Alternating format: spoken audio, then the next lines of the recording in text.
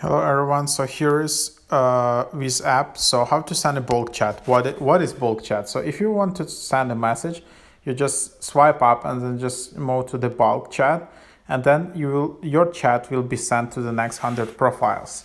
So that's like a, a feature from this app, and then you you want to create some like not just hi uh, or how are you. Uh, or something like that and then just tap send uh, bulk chat. But of course it's not free. So you can send 100 chats for 250 vcoins or you can send 100 uh, messages every week. So you can send one bulk chat per week with with gold uh, yeah with with gold. So there you have it.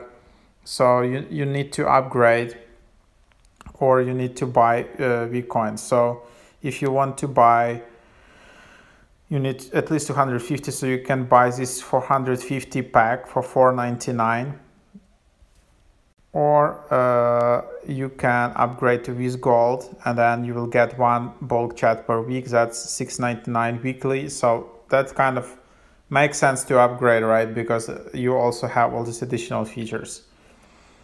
So yeah, hope that's helpful.